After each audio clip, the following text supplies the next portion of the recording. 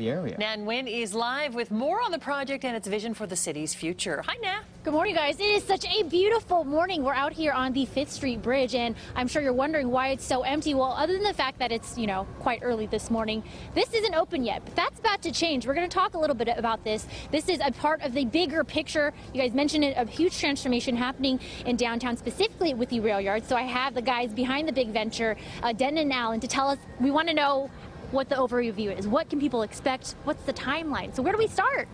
So uh, we're sitting here on the Fifth Street Bridge, and on our left-hand side here we have the uh, Central Shops, uh, the future uh, entertainment district for uh, the rail yards.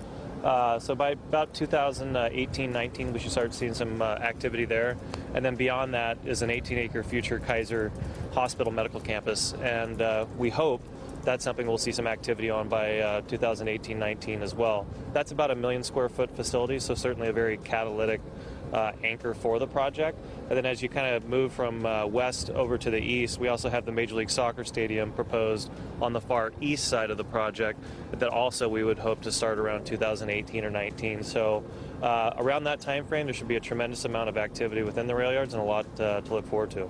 And we were just talking about it's going to be a city within a city, right? There's so much going on here. What are you most excited about seeing?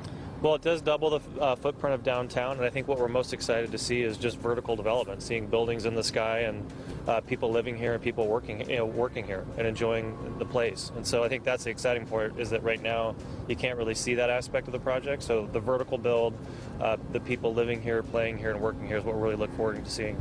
And then, Alan, we were also talking about again, kind of the bigger timeline. When do we see we see things starting in 2018? What could the progression be? When do we expect to maybe finish? I know that's pretty far ahead in advance, but sure. Well, I think the first thing we're going to see August 19th. These roads here will open up. So Fifth Street, Sixth Street, Rail Yards Boulevard connecting to Seventh and out to Jibboom. August 19th, that will open, and that'll be everyone should come out 8:30 in the morning. I think it, it's a long-term project. It's probably a 20, 30 year build out. But in the next, as Denton was saying, probably in the next three years or so, you'll see the entertainment retail district opening up with kind of round-the-clock entertainment happening there.